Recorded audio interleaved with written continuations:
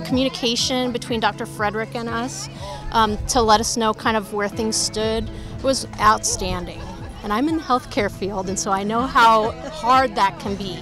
So I was really impressed with that. She was willing to do the extra caring things. If she needed to call me, she would do that personally. She pinpointed right away what I needed, and and first time we tried, it worked.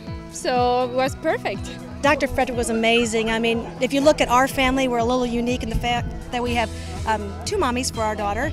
And she was just so sweet about it's not a big deal, I'm here for you. And we just felt like we connected with her. We felt like, um, you know, she was there for us and, and she really had our best interests at heart. The whole time she just walked me through every step of the way, both of us, never batted an eye, and she's just amazing. And she's part of our family.